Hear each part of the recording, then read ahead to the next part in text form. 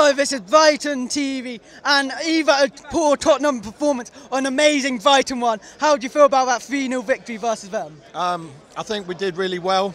Uh, Potter changed it today, and all the changes he made were the right ones. Um, we got a bit of rubber to green in the beginning. Uh, Lloris dropping the ball was really handy. Um, at 1 0, we were a better side, and we just kept pushing on. They didn't look like they wanted anything to do with it.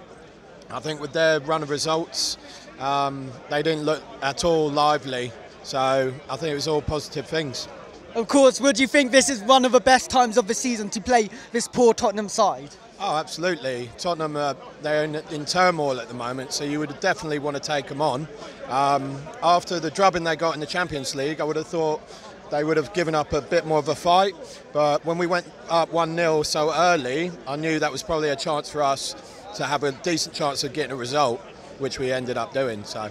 Of course, completely different to how Hughton would treat a game when you're 2 0 up. How do you think Potter's attacking philosophy is much different to Hughton's? Um, well, yeah, he's playing a way more attacking football. Um, the substitutes he makes, the changes he makes um, just from week to week already in such an early point of the season, um, you can tell he's definitely not um, afraid to change things. Whereas last season it was a lot of the same eh, week in, week out. Um, this season he's seeing where weaknesses are. It's sort of a learning process for him as well as the players. So I think he's figuring out the best team we have week in, week out, um, and it showed it today.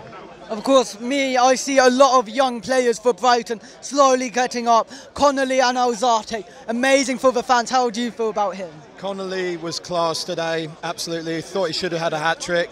Um, Alzate was brilliant. He's to be out of the two, he, he sees a bit more of the ball being behind the attacking, but um, I think both of them have proved their worth for the first team.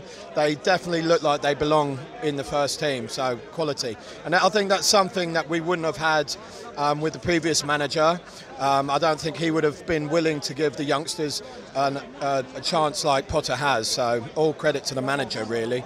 Of course, Trossard should be back after international break. Are you excited for that much attacking you know what, with Trossard as well, it just proves without him, it proves that we can play without him. But the idea of him coming back as well is what we have already. It just gives us another option, and it gives us so many options going forward. Um, so yeah, um, it looks like the sky's the limit at the moment.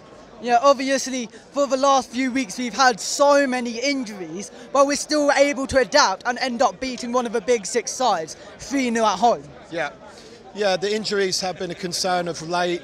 Obviously, Solly March came back today, and Bissouma's working his way back in. Um, they're not, they haven't started yet, which is great. Um, obviously, the manager is going to take time with them, but the, the squad is going to get healthier, and that's only going to be better. So, beating a Tottenham team who are languishing a bit, 3 0, with the injury problems we have, um, it only bodes well for the future. Thank you. All right, mate. Cheers. Don't forget to like and subscribe to Brighton TV and follow us on Instagram. Yeah.